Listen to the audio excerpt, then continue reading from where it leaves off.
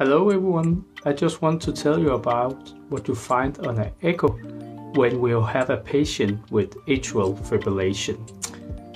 One of the most commonly normal findings is atrial enlargement. As you see here in this patient, both the left atrium and the right atrium is enlarged.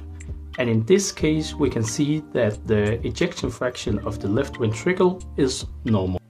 In this other case, with a patient with atrial fibrillation, you can see the left ejection fraction is severely reduced.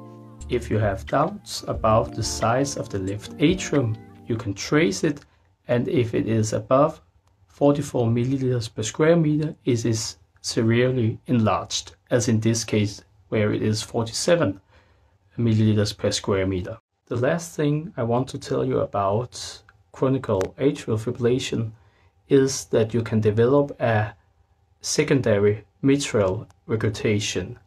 It is where the atrial enlargement do that the mitral valve leaves cannot reach each other and then you will get a very sometimes big uh, regurgitations jets as you see here and it is not a valve disease but a disease due to the enlargement of the left atrium.